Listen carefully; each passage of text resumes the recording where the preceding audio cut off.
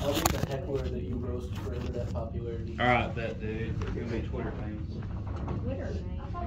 You're gonna cancel her. Y'all have a water All right. Okay. So, Lauren asked me to speak about doubt originally, and now I'm going to be speaking about doubt and fear, which pretty much ties into my message because most of the time the reasons that we doubt is because of fear. We have fears about things, and sometimes it's things that we realize, and sometimes it's things that we don't realize. Sometimes it's things that's just snuck up on us and just, you know, in childhood or something like that. And it's not really something we think about until we look back on it. So,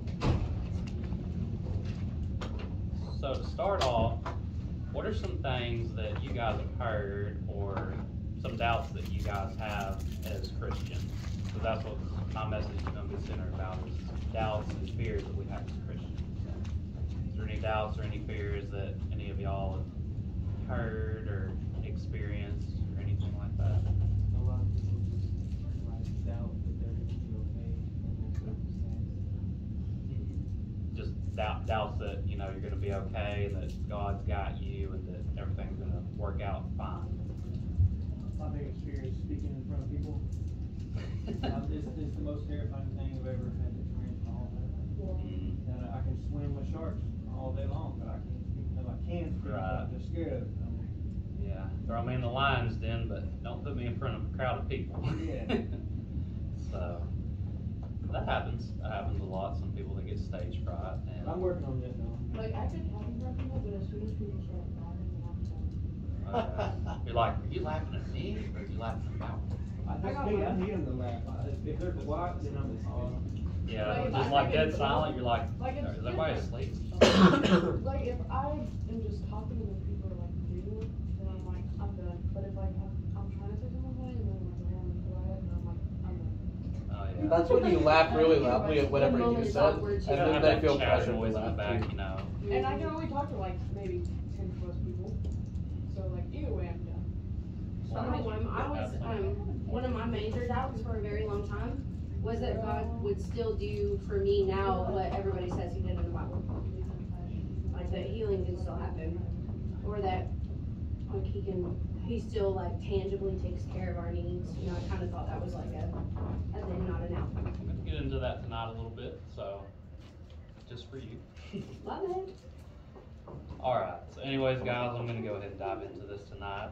I've got four points tonight, four doubts, four fears that most of us Christians go through. And I know there are definitely four fears and doubts that I've gone through in my journey so far, so. Anyways, so, number one is I doubt that God is real. As uh, teenagers, as high schoolers, and when I went to high school, I experienced this as well. There's a lot of people in high school, they just, they don't share the same faith that we do. They don't, mm-hmm. they're not raised up that way, they're not, they're not raised up going to church, and they're not, they just don't, they don't have good parents. And I'm not, you know, bashing parents or anything like that, but they're just not raised up in that way, and that's not their fault, so. But anyways, so, I had a, um, I actually had an uncle one time, and he was older. He was raised in church. There you go. But anyways, my uncle, he was raised in the church, and uh, he just he grew up knowing about God and everything like that, but he still had doubts, you know, and you know, he just there's some stuff that didn't make sense to him. I remember him saying, you know, how can you believe in a God that you can't see? And I would say to him, you know, simple thing, you know, how the air that we breathe, you know, so how can you believe that, you know, there's air if, you know, you can't see it? But also, I would go as far as to say, how do you know that there's, how, how would you know that there's not a God that loves you, that there's not a God that died on the cross and that there's not a Savior that is always there with you when I've seen so many miracles and so much done throughout history. So many, so many things have been accomplished. So, so one person that you can probably think of in the Bible that doubted a lot was doubting Thomas. So we're going to go to John chapter 20, verses 19 through 29.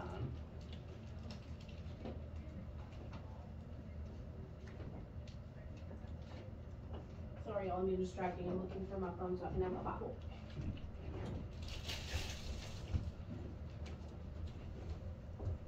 Can you move your spider web?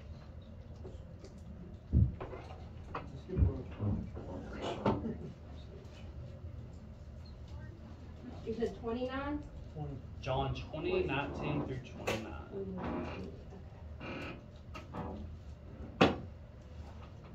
Sorry, Mom. Everybody to get there.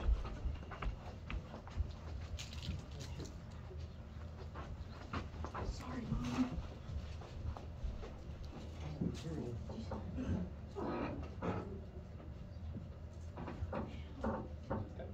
Good? Okay. So a little backstory. This is right after Jesus has just been resurrected from his crucifixion, and it's when uh, Jesus is actually talking to Mary in the garden. So, so anyways, then the same day at evening, being the first day of the week, when the doors were shut, where the disciples were assembled for fear of the Jews, came Jesus and stood in the midst of them, and saith unto them, Peace be unto you. And when he said, when he had so said, he shewed unto them his hands and his side. Then were the disciples glad when they saw the Lord. Then said Jesus to them again, Peace be unto you, as my Father hath sent me, even so send I you. And when he had said this, he breathed on them, and saith unto them, Receive ye the Holy Ghost. Whosoever sins ye remit, they are remitted unto them, and whosoever sins ye retain, they are retained. But Thomas, one of the twelve, called Didymus, was not with them when Jesus came. The other disciples therefore said unto him, We have seen the Lord. But he said unto them, Except I shall see in his hands the print of the nails, and put my finger into the print of the nails, and thrust my hand into his side, I will not believe. And after eight days again his disciples were within, and Thomas with them, then came to Jesus, the doors being shut, and stood in the midst, and said, Peace be unto you. Then saith he to Thomas, Reach hither thy finger, and behold my hands, and reach hither thy hand, and thrust it into my side, and be not faithless, but believing. And Thomas answered and said unto him, My Lord and my God. Jesus said to him, Thomas, because thou hast seen me, thou hast believed. But blessed are they that have not seen and yet have believed in me. So, so Thomas, he doubted that, you know, that Jesus had risen from the dead. He, he doubted in God. So, I was just reading that the other night, man, that's awesome. Really? that's great. But that's what does sometimes. You know, sometimes we doubt unless we see something happen, unless we see a miracle or something like that.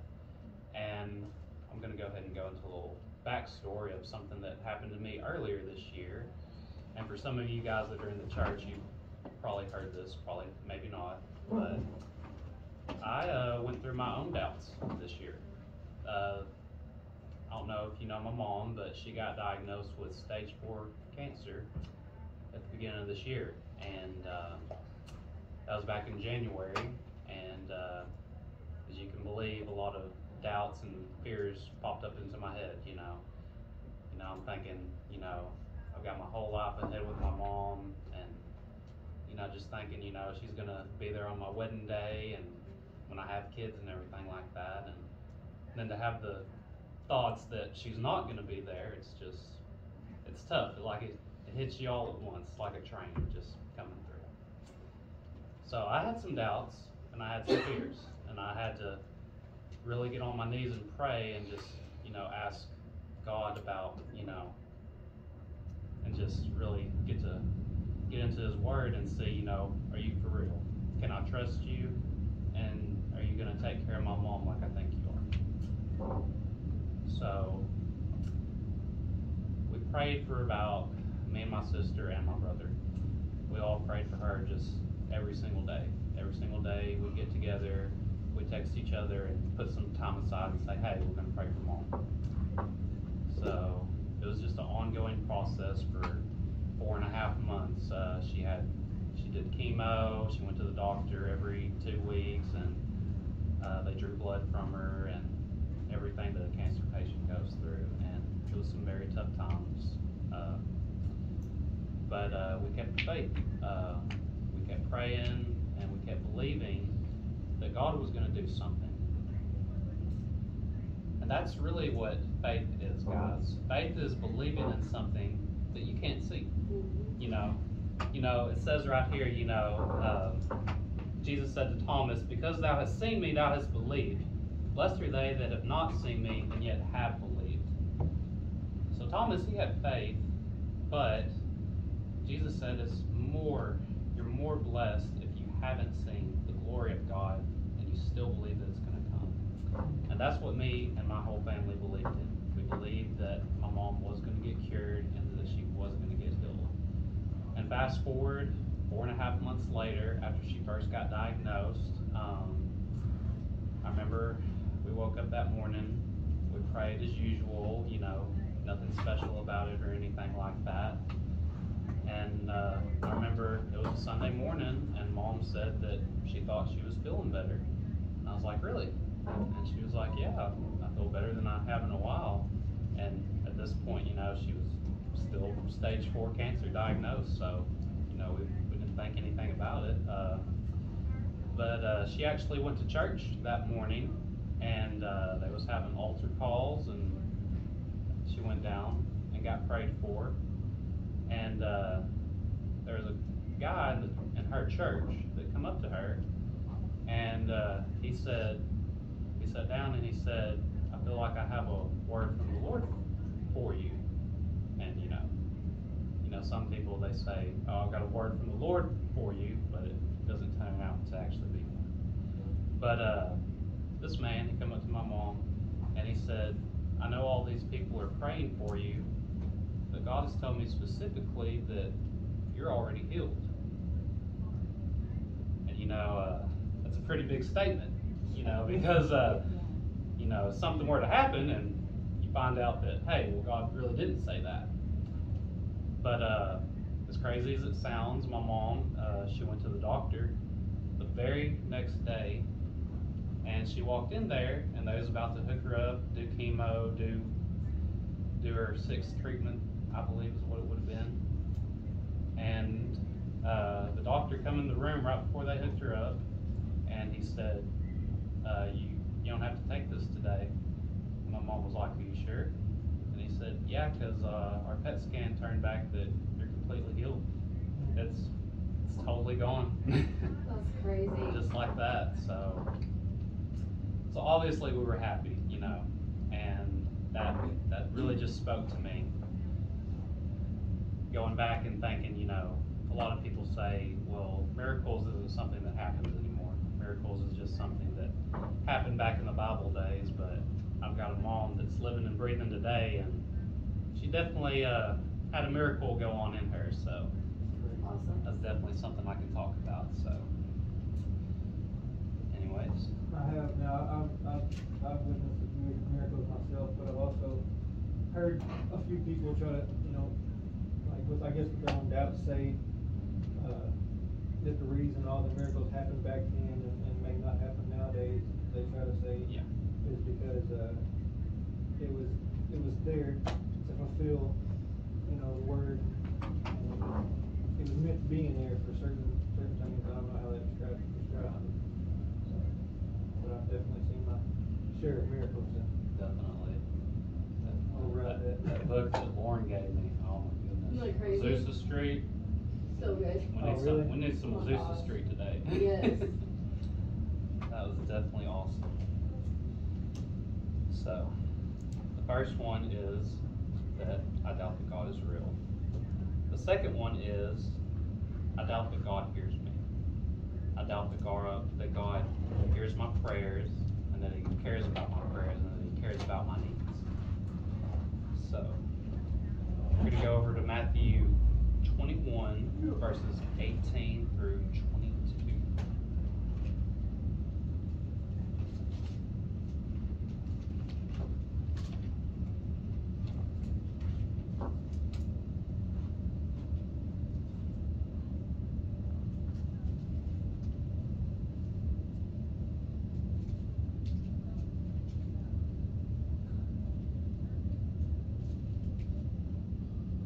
Okay. Okay, Matthew 21, 18 through 22. And it says, Jesus perceived their wickedness and said, Why tempt ye me, ye, you hypocrites? Show me the tribute money. And they brought unto him a penny. And he saith unto them, Whose is this image and superscription? They say unto him, Caesar's.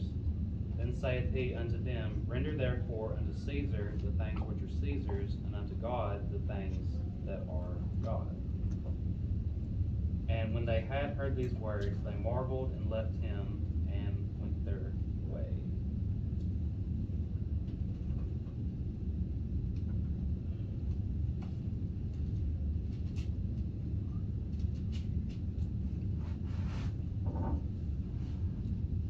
Okay, guys, I just read the whole wrong story, so back up.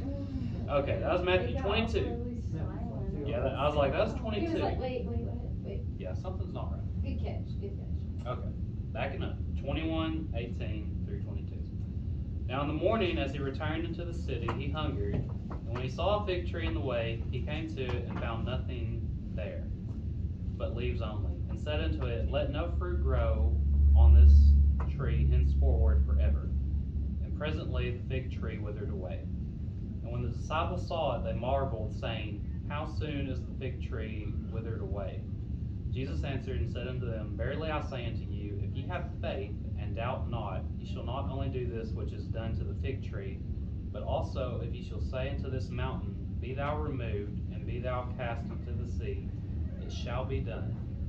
And all these things, whatsoever ye shall ask in prayer, believing for it, ye shall receive it. So, on that,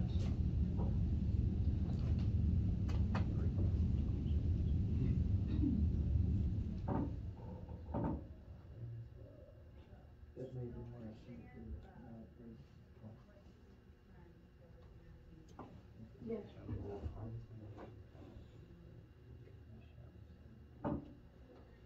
So. So sometimes we ask God for things and I feel like sometimes we're not, we don't ask in the right mindset. I feel like we have, got a lot of doubts and a lot of fears, like we're talking about, and we just don't believe that God is gonna do something. But guys, he says if you have faith as a mustard seed, you can say to a mountain, move into the ocean, and it'll be so. Mm-hmm. So I feel like we just have to, you have to have faith when you come to God. You have to mm-hmm. believe He's going to answer your prayers, and you have to be sincere. And just come to God as you are. You, you can pray to God. He, he doesn't care if you're mad. He says, don't do anything in your anger, but we can come to God just exactly as we are. We can pray to Him.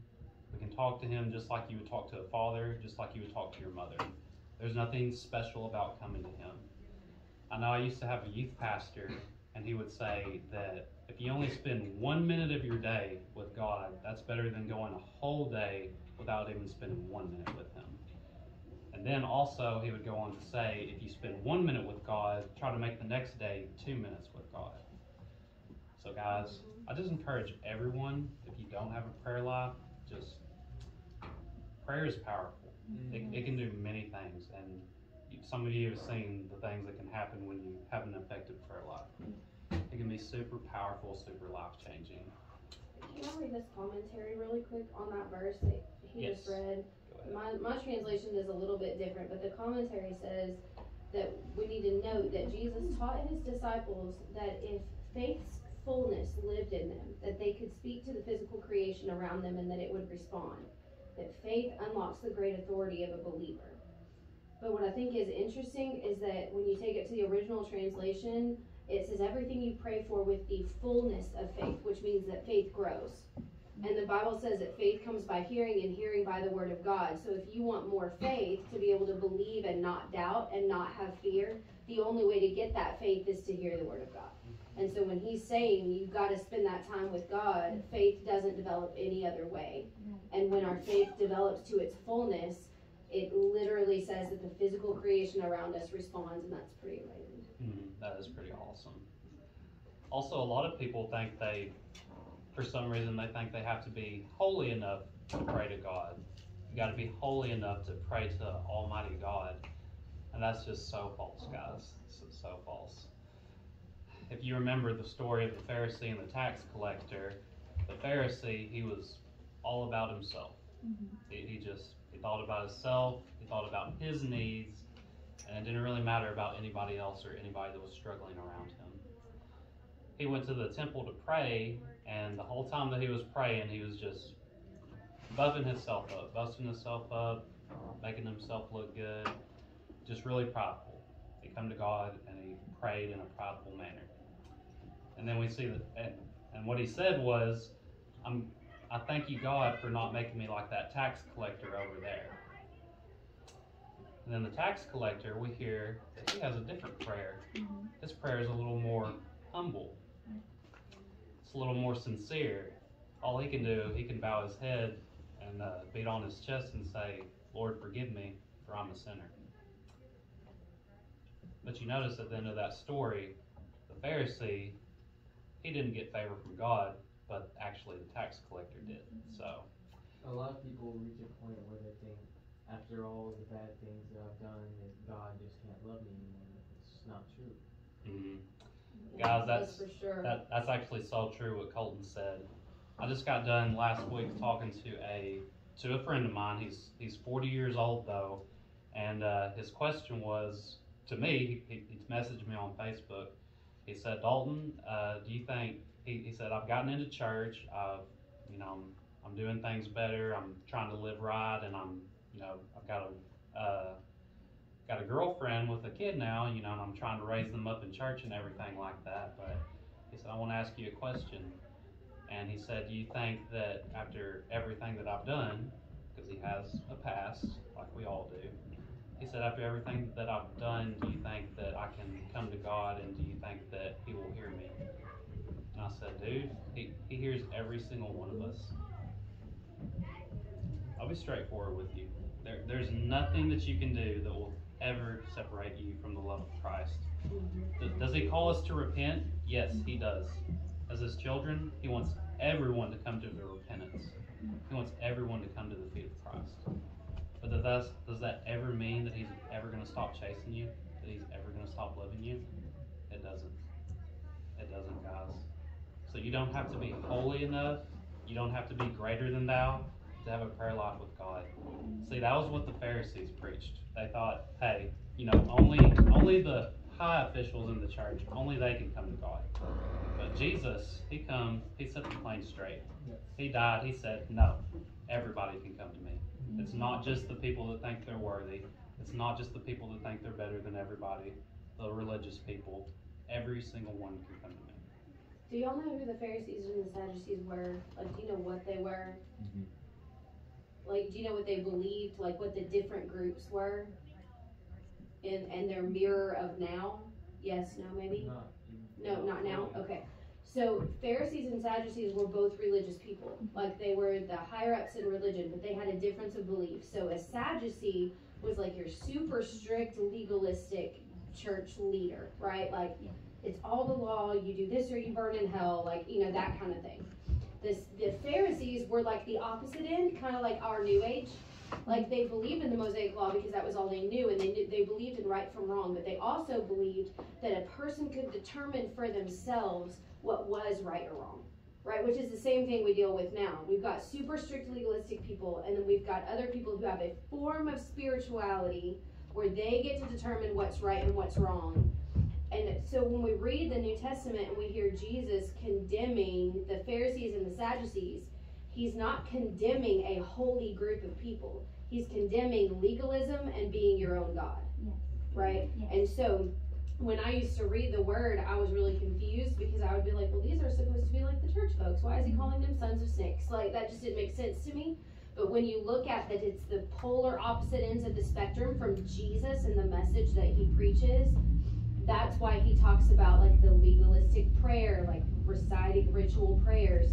But he also warns us against determining that we are our own judge, our own God. Nobody judges me but me. I get to decide my own my own rules.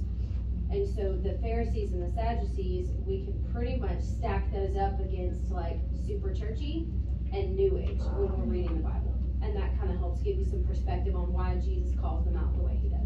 That's pretty cool. I've never heard them compared like. Yeah, it's pretty awesome. Like it, it, it really helps me in perspective because you know we hear a lot of different things, especially when we're talking about doubt and fear, and we're talking about, um, you know, there's just the reality of there were times that I doubted that God was real after He had healed me from a mass in my stomach. Like that's ridiculous, right? Like I show up with a mass this big in my stomach, and then I go back and it's not there, and I'm like, well, maybe that was even we have like when we have doubts after God shows himself to us when we're looking at like and, and trying to determine do y'all ever feel like you can't like maybe if you hear something from somebody you'll take it as truth and maybe it's not truth? Like we kind of doubt ourselves when we're deciding what's right about the bible. I have that doubt for myself a lot. Keeping those two things in mind helps me keep it in the middle. Like if somebody's being super legalistic i go look at what jesus said to the sadducees if somebody's being super like all inclusive and there's no, no such thing as sin and I get to determine what's right and I get to determine what's wrong, then I look at what Jesus said to the Pharisees and it helps me find the middle ground. Mm-hmm. So it's pretty good for study. Oh yeah, definitely. And branching off of what Lauren said, I don't call out different religions or different denominations, but guys, there's a lot of churches that they preach that pretty much you have to be perfect to make it to heaven, and that you still have to work your way to heaven. When they say that, I'll definitely point them to Ephesians two eight through nine that says it's not by works that you're saved; it's by grace alone Yes. and faith in Jesus Christ, your Lord and Savior. So. I, I really don't know why they think that, but there's a lot of people out there that they're, don't they don't mean to harm others, but they end up doing it in the long run. So that's the last thing we want as believers is to harm, hurt anybody and not want them coming back to our church. So, Amen to that. anyways, so the that was point number two. My doubt in God and a God that's real. Number three, I doubt that God sees me, sees me, and cares about me. So have you ever thought that, hey, maybe, I know, uh, there's been some people that, I'm a, I'm a real big football fan. And I love football, I love any type of sport, but definitely football more than everything. Basketball too, that's second. But anyways, there's a lot of people that have told me that, well, yeah, you love football, but God really doesn't care about football. He, you know, He doesn't really care about your life. He just cares whether you serve Him or not. So, I'm gonna tell a story real quick, and I don't know if any of you guys know him, but uh, Tim Tebow. Has anybody heard of Tim Tebow before? Yep. Tim Tebow is probably one of my favorite football players, and not just because he's a great football player, but also he's a great representation of what a Christ-like Christian and what a true leader should be. So for those of you that don't know Tim Tebow, he's a football player for one, and he played for Florida back in 2007 to 2010. Yeah, 2007 2010, and he was their quarterback. And uh, back then, it's not legal now in the or in college football, but you were able to wear face paint on your face. Like you could write a little message on your face, or just draw a line, a black line or a white line, or something like that, just to you know express yourself. Well, Tim Tebow, he would uh, get up there on game days, and he would write John three sixteen across his cheek, because you know he wanted to you know show people, hey, you know I'm a follower of Christ. I, I play football, but still, God is number one in my life. So. And a lot of people, they got really mad at Tim Tebow. They said, uh, well, maybe if you spend as much time trying to play football as you did trying to, you know, uh, practice your religion or express your religion, maybe you'd be good at it. That's kind of crazy to say because he actually went on to win two Heisman trophies there. But anyways, so yeah, just horns down.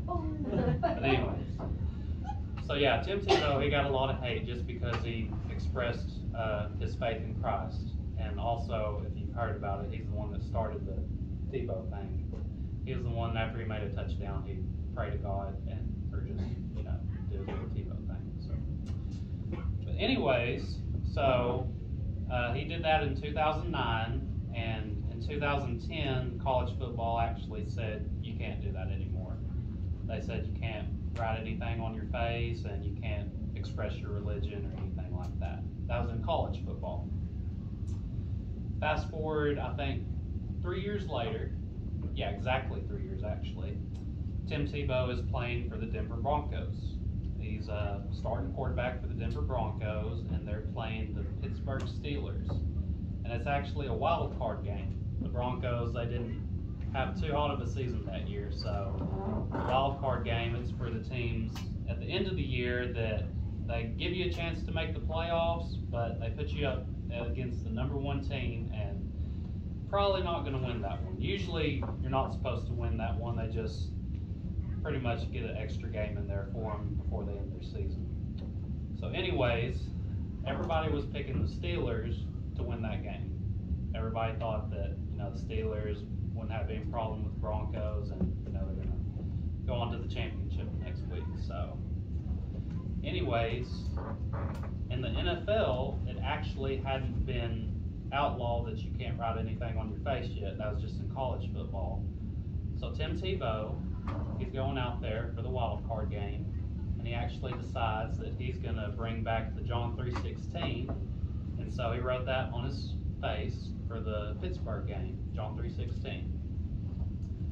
So, anyways, uh, long story short, uh, Tebow he goes out there and probably plays the best game of his life in my opinion, and they actually end up beating the Pittsburgh Steelers, I think, in the last seconds of the game. I think they did like a last minute touchdown pass from Tebow, and I believe one of his receivers caught it in the end zone. They actually ended up upsetting Pittsburgh that night.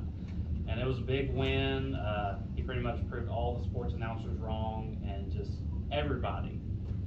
But, anyways, the coolest thing about the game is so he wrote John 3:16 on his face to you know, represent his faith and uh, show that he was a follower of Christ.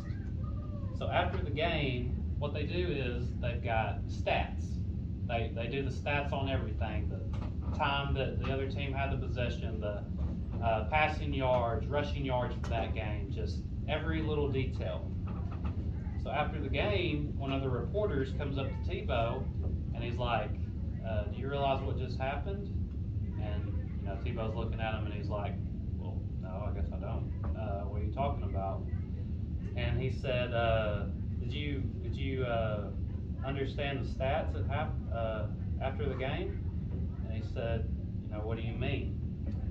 So let me give you some of Tim Tebow's stats that night, or just or the team stats, my bad. So that night, Tebow Tebow's passing yards, which is actually an NFL record that he set that night, his average passing yards, and I'm talking about like average completion rate, like that's how many yards that he got per completion. He averaged 31.6 completion passing yards that night. Oh, that's great. And also, uh, the uh, the Pittsburgh Steelers, the time of possession that they had the ball that night, it was 31 minutes and six seconds. We can't, we can't make that up, that's It doesn't stop there. The average rushing yards that Tim Tebow had that night when he did his quarterback sneaks, he averaged 3.16 yards per carry. It gets better. Let me see. Also, Jesus was like, I played that game. Right. the whole thing. He can It's, play- you know Jesus how a plays peg game where you just do, that, that was Jesus that night. I'm like, okay, let me, let me see which Exactly. Oh yeah. but anyways, he, he did that That's and crazy. yeah, that is crazy. You can look it up. It's Love really it. awesome. Uh, Tim Tebow, John three sixteen game.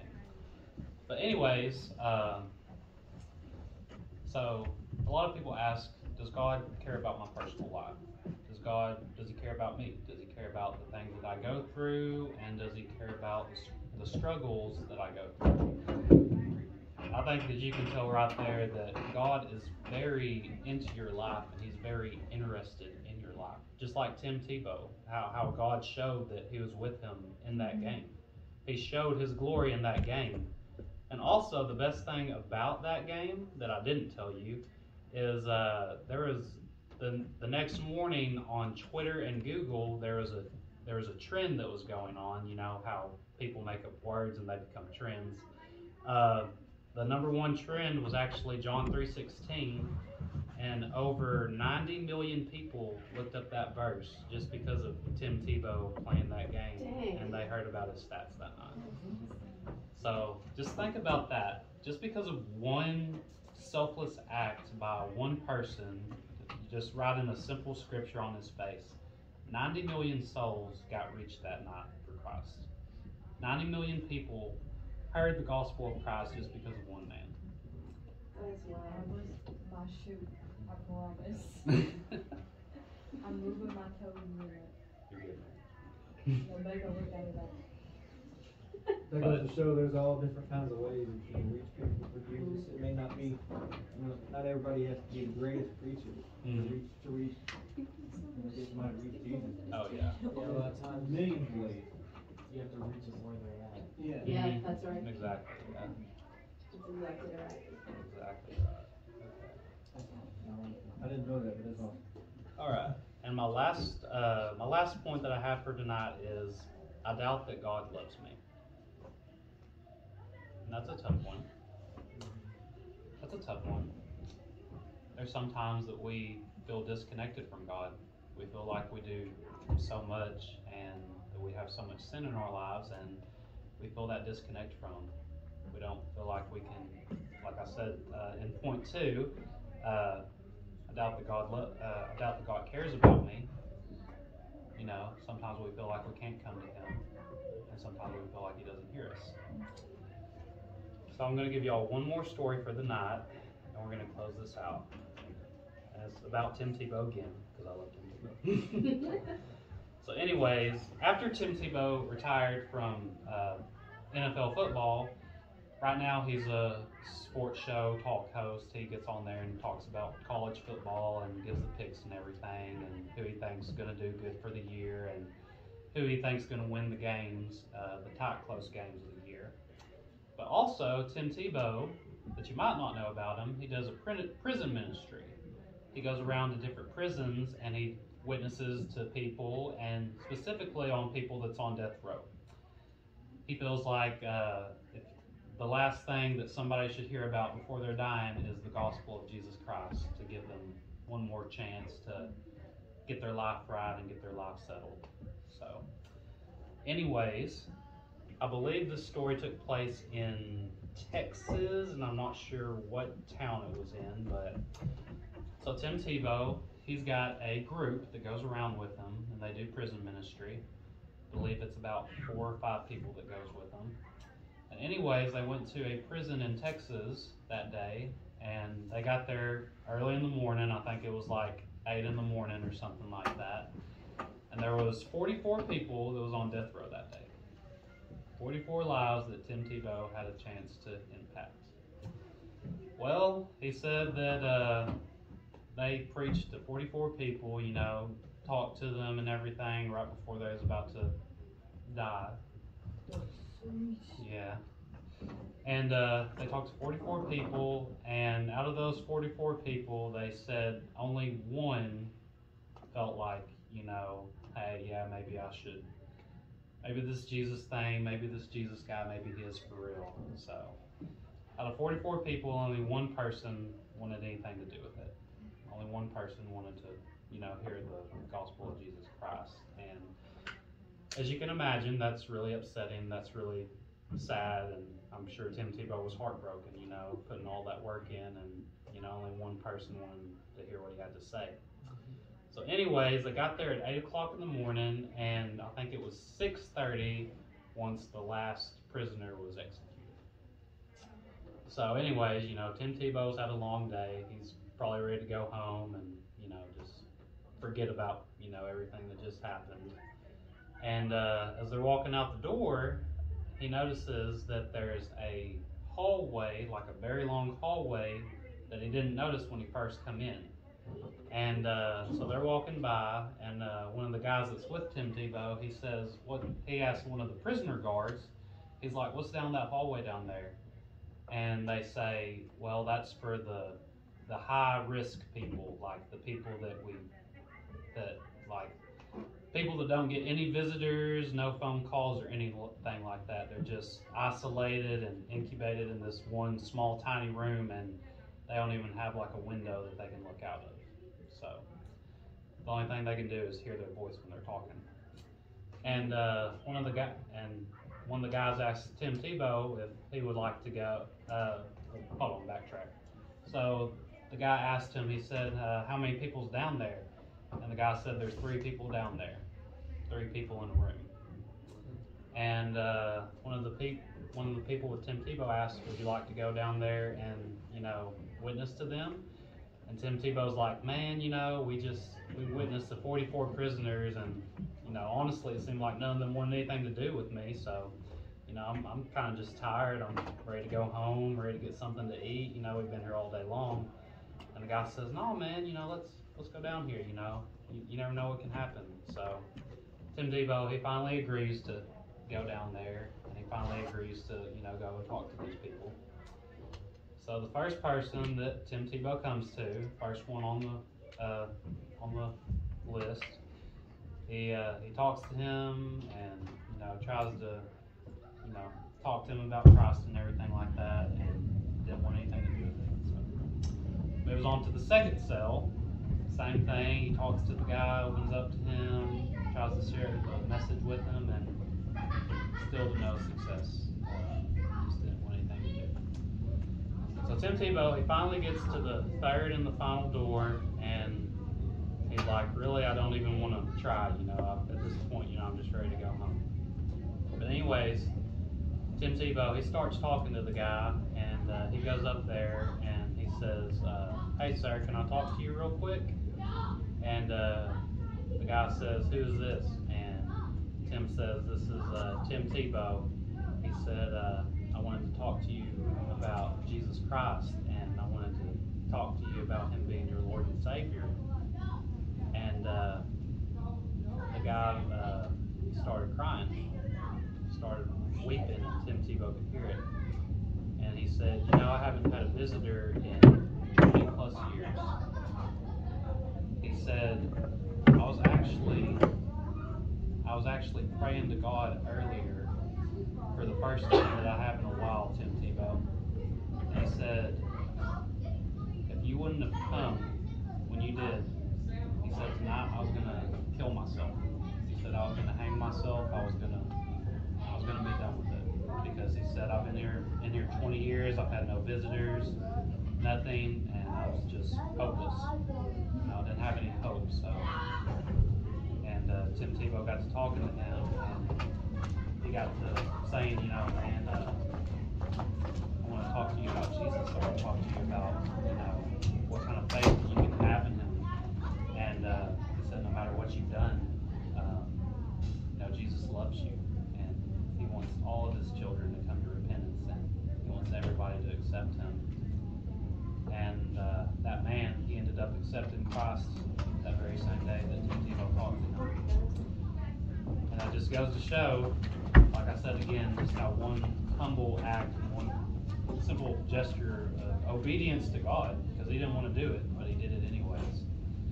It just shows you how when you do when you do what God tells you to do, He can definitely work things, and He can definitely do things in your life. Sometimes it's hard, man. I can, I can understand the, the discouragement that he, he must have went through, you know people one. It's been a long day.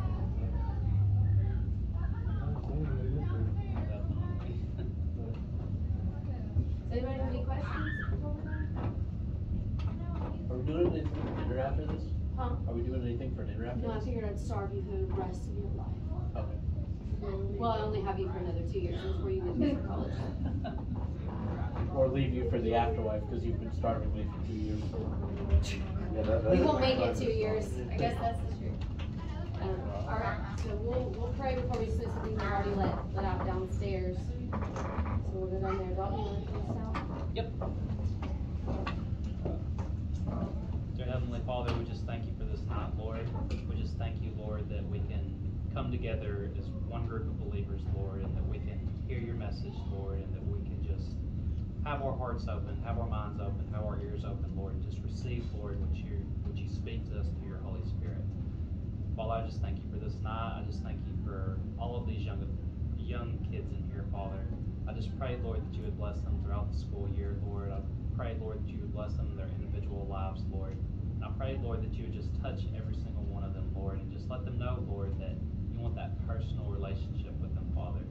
It doesn't matter what they're going through. It doesn't matter how hard of a time they have right now, Father.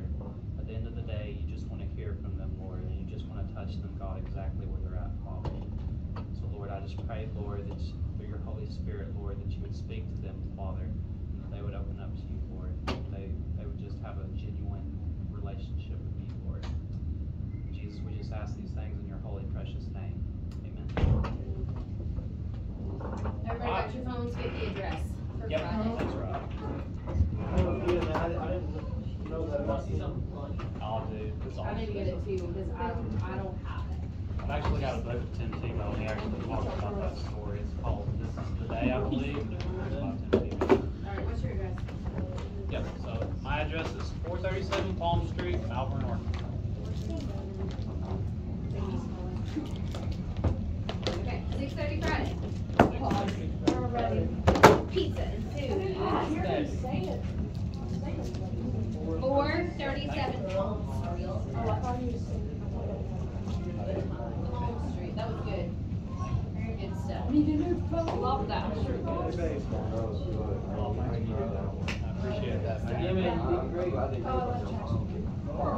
Yeah, yeah. Oh, yeah.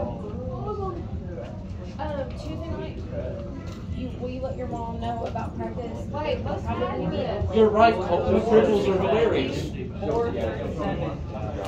That's totally fine, because we'll, we'll meet here She's at like trying to six. protect me about my driving because I Well, it's a drive long like way. SpongeBob. And it's a long way, and it's dark, and people drive stupid, so I get that. But we may be practicing until like eight thirty, like whatever we gotta do because we're doing some new stuff, so we didn't, just kind of let her know it might be late, so we can get that in here. Watching play football Florida and just some stuff. Alright, I gotta go meet with Lyndall. He's a great guy. Bye, mom!